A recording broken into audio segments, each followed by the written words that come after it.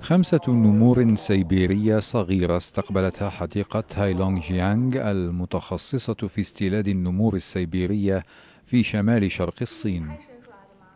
بالوافدين الخمسة الجدد يصبح مجموع ما ولدته إناث النمر السيبيري البالغات في الحديقة هذا العام خمسة وعشرين عادة ما يتزايد مواليد النمر السيبيري في شهري مايو ويونيو النمور الوليدة وهي نتاج برنامج للتخصيب الصناعي. ستنتظر في الحديقة إلى أن تنمو بما يكفي للتقوت على الدجاج الحي. تفتقد هذه النمور بيئة الغابات الطبيعية ولذا فإن إطعامها دجاجات حية يدربها شيئا فشيئا على الصيد.